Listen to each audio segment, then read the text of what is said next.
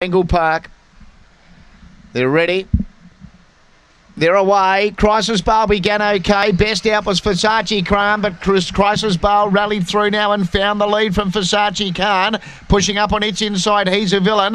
Yakimov Bale was next. Behind it, Dodger I Am, Bull Titan, and Bradley Bale. Favourites off and gone. Crisis Bale at the 200 metre mark, led by three. Versace Khan is starting to close the gap again. They're clear from He's a Villain and Dodger I Am in the straight. And Versace Khan goes to Crisis Bale and takes it. Versace Khan beats Crisis Bale. He's a villain third. Dodger I Am fourth. Then Yakimov Bale, Bradley Bale, and Bull Titan.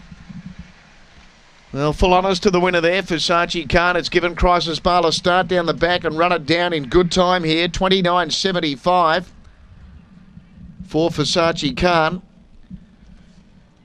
Running down the favourite, 4-2-1-3 officially.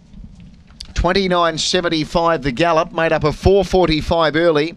1676 to the back and 1299 the run home. Versace Khan by, where's Pedro out of Daydream? Kath Johnston training for Daryl Johnston.